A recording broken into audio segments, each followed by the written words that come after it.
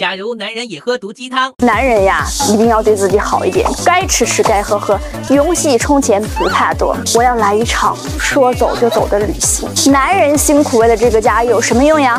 婚姻到底给男人带来了什么呀？钱这种东西就是给女人看的，不是给女人花的，知道吗？如果一个女人真的喜欢你，她就会努力把自己变得更强大、更优秀，给你买房买车，给你买游戏装备，给你花钱的女人呀，她不一定爱你，但是给你花钱的女人一定是不爱你的。你不用主动去联系女人，如果呀她想你，她自然就会联系你的。如果她不想联系你，那你联系她干什么呢？男人找女人一定要找一个像母亲一样爱你，把你宠成小王子的女人。不爱其实啊，没有几个男人会拿上面的毒鸡汤当真，但很多女人就会真的成为毒鸡汤的牺牲品。这其中的因由呢，你知道是为什么吗？